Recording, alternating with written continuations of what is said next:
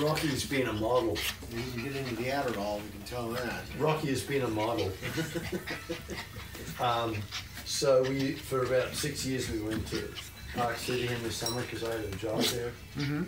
And Vicki one time bought one of these bow ties for the dog. You know, the local people at the market who sell stuff. Mm-hmm.